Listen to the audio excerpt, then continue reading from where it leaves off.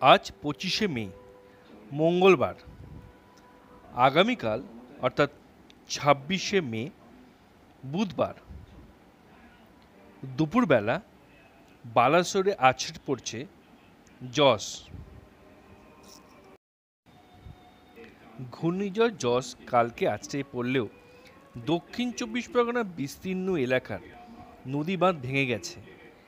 গ্রামে জল ঢুকছে।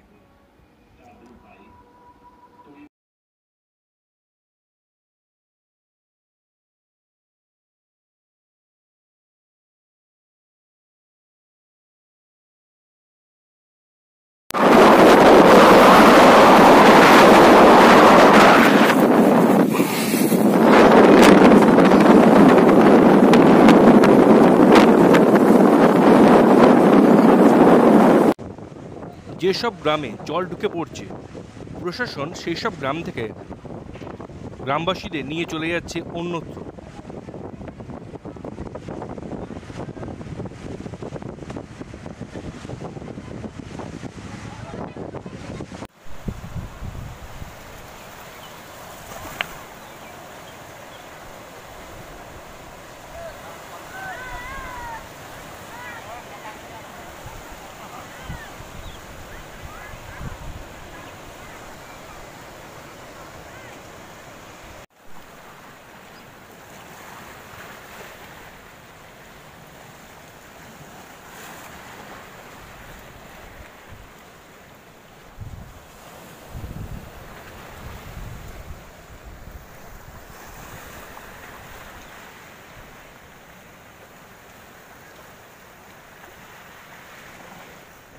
এটা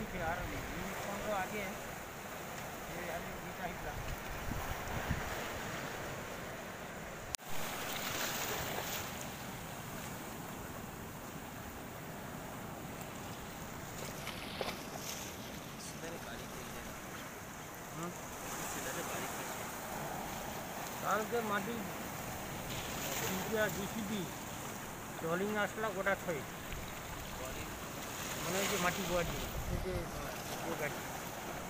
হলে কি হবে? সে এই চাঁদা ফাতা কাটিলে কি ধারে দে